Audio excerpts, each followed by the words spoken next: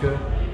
Kære alle sammen, jeg glæder mig utrolig meget til, at vi ses den øh, 9. Februar i Oslo, hvor jeg skal tale om, hvordan og hvorledes man udfolder sit potentiale. Og øh, når vi taler om potentiale, så er, det, så er det væsentligt at forstå, at det er noget andet end det guddommelige talent.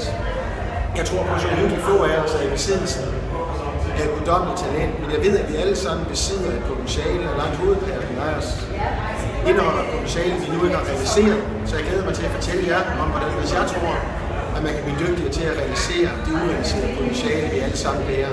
Vi ses snart.